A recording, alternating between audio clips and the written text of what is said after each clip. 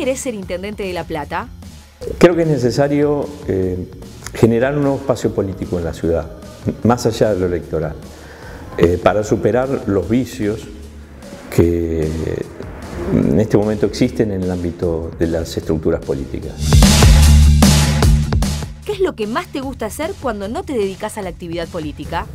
De todo, hago de todo. Trabajo mucho con las manos porque eso eh, me relaja.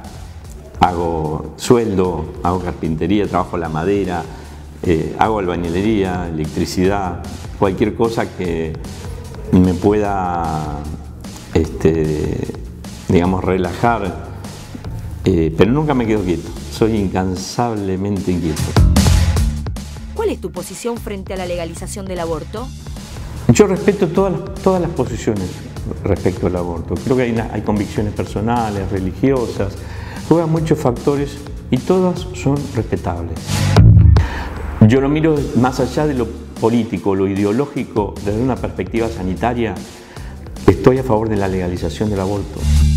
¿Promoverías la legalización de la marihuana? Creo que empezaría por legalizar el autocultivo con fines terapéuticos. Si no fueras precandidato y tuvieses que votar a uno de los actuales precandidatos del Frente de Todos, ¿a cuál votarías? Vos, es picante, en serio. No lo sé, tendría que pensarlo mucho. Si te despertaras con cuerpo de mujer, ¿qué dirigente política te gustaría ser? Yo sería como Dora Barrani.